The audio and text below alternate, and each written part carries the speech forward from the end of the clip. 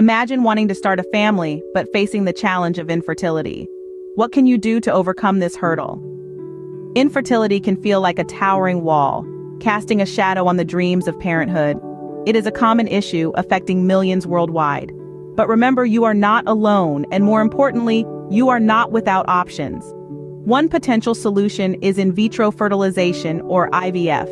This medical procedure has been a beacon of hope for many, helping to navigate the stormy seas of infertility.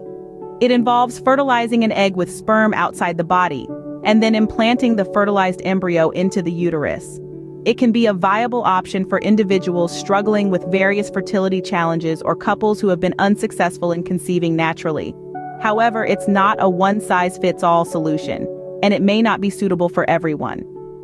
Understanding the process of IVF can demystify the procedure and help individuals and couples make informed decisions. So, how does IVF work? Let's break it down into six main steps. The first step is ovulation induction. This is where fertility medications are given to stimulate the ovaries to produce multiple eggs. These medications also help control the timing of egg release, ensuring that the eggs are mature and ready for fertilization. It's like giving a gentle nudge to the ovaries saying, hey, it's time to get to work. Next comes egg retrieval. Once the eggs are mature, a minor surgical procedure is performed to collect them from the ovaries. This procedure is known as follicular aspiration or egg retrieval. It's like a carefully orchestrated treasure hunt where the precious eggs are the coveted treasure. The third step is fertilization. The retrieved eggs are then combined with sperm in a laboratory dish. This can be done through traditional insemination methods or through a process called intracytoplasmic sperm injection, where a single sperm is directly injected into an egg. Imagine this as a meet and greet between the egg and the sperm, where they are introduced in a controlled environment and encouraged to form a connection. Once fertilization occurs, the fertilized eggs, now embryos, are cultured for a few days in the laboratory. This stage, known as embryo culture, allows the embryos to develop. It's like a nurturing kindergarten for the tiny embryos where they are closely monitored and cared for until they are ready to move on to the next stage. That next stage is embryo transfer. One or more healthy embryos are selected and transferred into the woman's uterus. This is a crucial step, as it's the moment when the potential future baby gets its first home. It's like moving day for the embryo, where it's carefully placed in its new abode. Any extra viable embryos can be frozen for future use.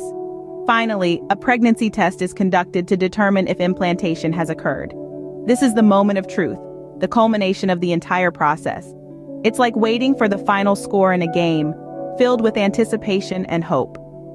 IVF is a complex process, but each step is crucial to increasing the chances of a successful pregnancy. Each stage is meticulously planned and executed, all with the goal of helping individuals and couples achieve their dream of having a child. From the initial push to the ovaries, to the careful collection of eggs, to the precise combination of egg and sperm, and finally to the hopeful transfer of the embryo, every step of the IVF process is a testament to the incredible advances in reproductive medicine. And while it may seem overwhelming, remember that each step is just a part of the journey towards the ultimate goal, a successful pregnancy. Scene script. IVF can address several specific causes of infertility. Let's delve into some of these. Firstly, there's tubal factor infertility, where the fallopian tubes are blocked or damaged, preventing the egg from reaching the uterus. IVF bypasses this issue entirely. The eggs are harvested directly from the ovaries, fertilized in a lab, and the resulting embryos are implanted into the uterus, sidestepping any tubal complications. Next, we have male factor infertility, which can be due to low sperm count or poor sperm quality. In these cases, a technique called intracytoplasmic sperm injection, or ICSI, can be employed. Here, a single sperm is injected directly into an egg, optimizing fertilization chances. Let's consider ovulatory disorders, where individuals have irregular ovulation or do not ovulate regularly. IVF can be a game changer here. Fertility drugs are used to stimulate the ovaries to produce multiple eggs, which are then retrieved and fertilized in the lab. Then there's endometriosis, a condition where tissue similar to the lining of the uterus grows outside the uterus, affecting fertility. IVF can offer a solution by taking the fertilization process out of the body, eliminating the barriers created by this condition. Lastly, we come to unexplained infertility. When the cause of infertility cannot be identified through standard testing, IVF can still be a viable option. The process maximizes the chances of conception by creating an optimal environment for fertilization and implantation. Each of these scenarios highlights the versatility and impact of IVF. It's a technology that has revolutionized reproductive medicine, providing a beacon of hope for many. It's important, however, to bear in mind that, like any medical procedure, IVF may not be the right fit for everyone, and its success rates can vary. IVF has opened doors for many who face specific infertility issues offering a chance at parenthood. Now that we've covered the process and impact of IVF, what are the key points to remember? Let's recap. IVF is a medical procedure that addresses infertility by fertilizing an egg with sperm outside the body, then implanting the fertilized embryo into the uterus. It involves six main steps. Ovulation induction, egg retrieval, fertilization, embryo culture, embryo transfer, and a pregnancy test. This procedure can tackle various infertility issues like tubal factor infertility, male factor infertility, ovulatory disorders, endometriosis, and even unexplained infertility.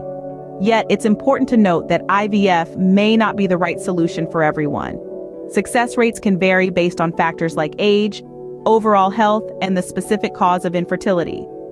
IVF, a revolutionary procedure in reproductive medicine, provides hope and possibility for many struggling with infertility.